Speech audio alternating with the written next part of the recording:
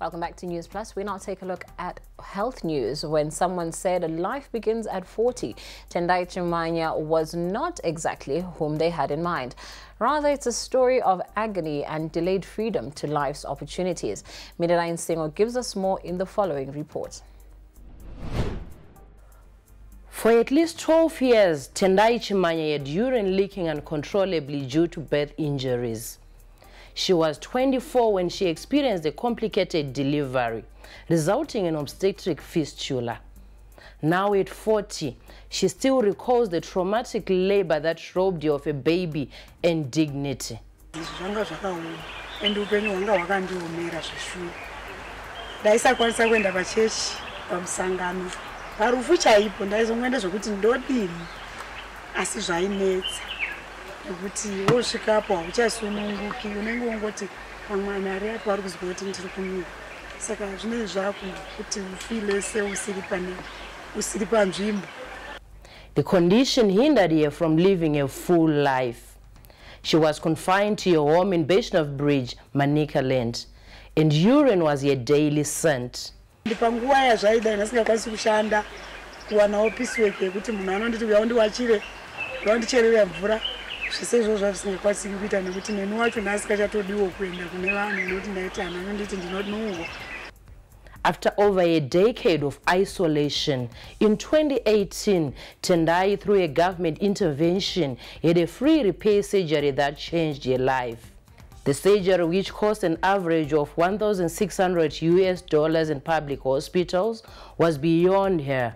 She got it for free. Kubva kuministry of health. Ndakabatsirwa pasina mari pachena.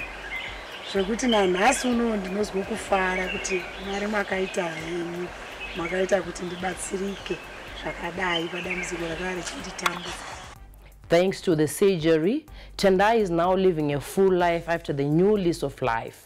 kuenda kubasa vana medhe vakavhurawo kreshi yavo vakandiemployawo kuti ndibikire vana nekutsvaira tsvaira saka ndaakukwanisawo kubikira vana pakreshi then zvese izvozvo ndope mwedzi waperawo ndopiwawo chisendi changu ndokwanisa kurarama Hers is a story familiar with many women living in Zimbabwe and Africa and here to be treated. At least 10 women per thousand deliveries in sub-Saharan Africa experience such birth injuries. Obstetric fistula is one of the most devastating injuries of childbirth, which leads to women being abandoned or neglected by their partners and families, unable to work, and are stigmatized uh, by their communities. Reason why? Because they have continuous flow of urine, and we all know uh, the smell of urine. No one wants to be associated with that. Early teenage pregnancies, delay in access to care are some of the leading causes of fistula. world health organization you inoti 50000 to 100000 women a year actually develop obstetric fistula. Mateenage pregnancies right? Underage uh, pregnancies. Zvinowanikwa mune certain cultures zvinowanikwa mune certain religious sects. Nengari yekuti munhu anenge asati anyatsodevelopa. Here, the government is determined to ensure women like Tendai have access to the surgery.